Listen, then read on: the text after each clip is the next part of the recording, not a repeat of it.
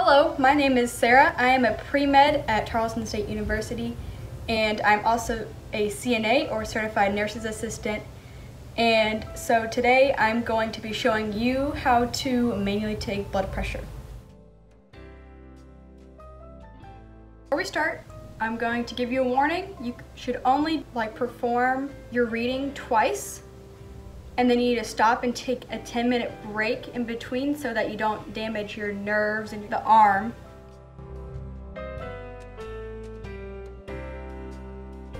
Next thing you're gonna wanna do is find a good artery to line up your blood pressure cuff with.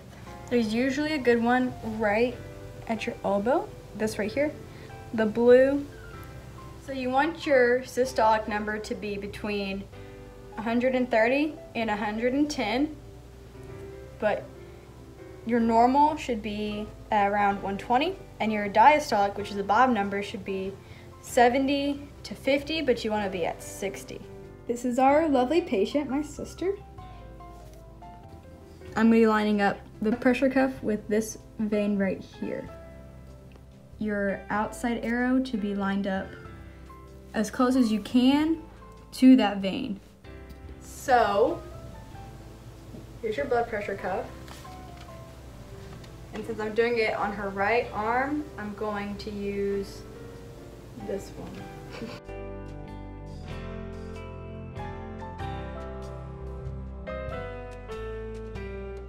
so you're going to want to put the cuff on where you can comfortably fit two fingers underneath. You're then going to put the big side of the stethoscope onto the vein, or the artery, sorry.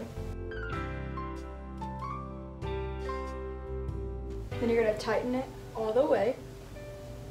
So turn it to the right all the way till it stops. You're gonna pump it all the way until 170.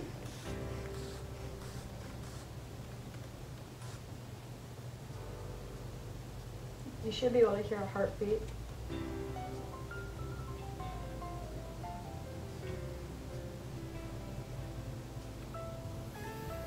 Sometimes you can actually see your heartbeat on the sphygmomanometer.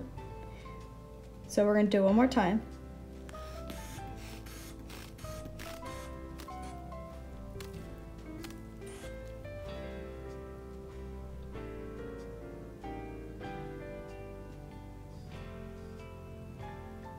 You see it?